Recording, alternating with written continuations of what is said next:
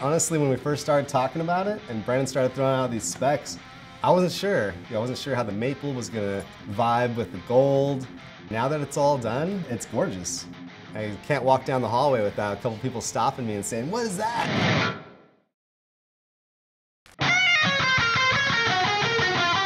Hey guys, Brandon here. I'm excited today to share with you my brand new Jackson Custom Shop Kelly 27 Master Built by Joe Williams.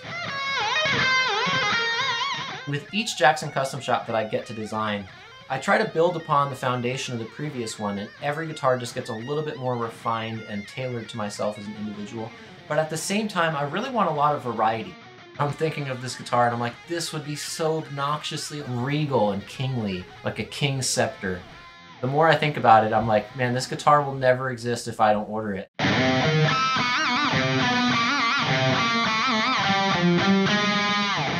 This is the third Kelly that I built for Brandon. So this is a 27 fret Kelly, a lot like his last one, with a couple obvious upgrades and changes. A lot of artists, they know what they want, they know what they like, and that's what it is. Brandon's always kind of searching, which is pretty exciting as a builder, because I get to try different things too. It's a custom Kelly body that I've been doing specifically for Brandon. Just like Brandon's signature guitar, he's really into the crackle finishes. There's a couple different golds that we could have done, and he really wanted that bling effect with the big metal flake. The tricky part about doing the crackle paint jobs on a neck through is we gotta get the whole thing at one time, it's gotta be even in order to get all that continuity there and get it all right. When I was building the guitar in the mill, knowing that it was going to get not just a metal flake paint job, but also a crackle paint job, that thickens things out quite a bit. I actually had to undersize everything, knowing that it was going to grow a little bit with all the paint. There's Gotoh locking nuts. This is a radius of 14 inches, a Hontug gold titanium bridge. We call it the Rolex of Floyd bridges. What's cool about it is it's got these titanium inserts for the knife edges. So if those ever wear out, take the bridge off, get rid of that little uh, dowel pin right there, and you can swap it out for a new titanium knife edge.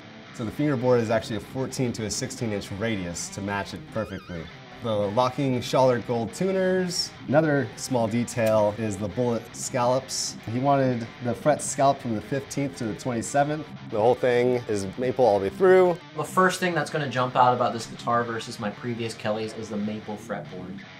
All my Kellys up until this point have had ebony fretboards, and that's because I've been working on perfecting my design. And on the previous custom shop, I feel like I finally achieved that. I was like, this is my guitar. So I wanted to make a variation on that with a maple fretboard. The material of these inlays is really funny. So I had spec mother of pearl originally for this because it just seemed classy.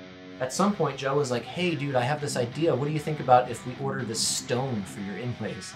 And I was like, what? I didn't even know that was possible. You can do that? And it's reconstituted stone in black and gold, and it looks just like the paint job. It really ties the look of the guitar together, and it's just exquisite looking in real life.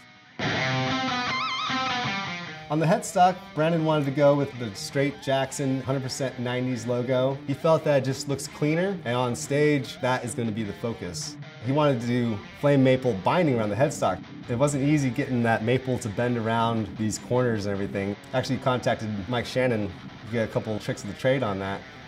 Getting into the electronics, this is a sustainer from the PC-1 models.